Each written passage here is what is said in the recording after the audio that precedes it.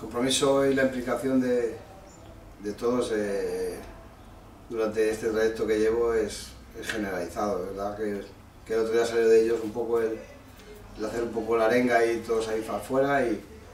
la verdad son cosas y detalles que, te hacen ver ese compromiso un poco más mayor. Evidentemente, de que al final no, no puede ser de otra manera. Bueno, es cierto que,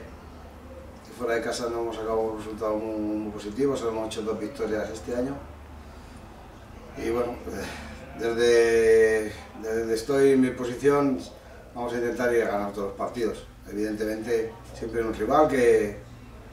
que hay que contar con él y bueno, a la misma vez eh, sabemos la necesidad de los puntos y, y ha dicho que no hay que depender de casa, hay que sacar también puntos fuera y nosotros vamos a ir con el convencimiento de, sacar los tres puntos en vivo. Pues el equipo está, está bien, el equipo entrena bien, el equipo me dan todo lo que tienen cada, cada día los jugadores y sobre todo cuando vienen las victorias pues se trabaja pues, mucho mejor y, y los veo pues, muy bien, muy, muy comprometidos, muy trabajadores y, eso me, me satisface mucho. Bueno, es un equipo con jugadores de mucha calidad, ¿eh? con un sistema diferente, que juegan ahí de tres y con mucha posesión de balón, que, te, castiga mucho físicamente y, bueno, con buenos jugadores de medio campo hacia adelante, en un campo también pues, que no es muy habitual jugar, como es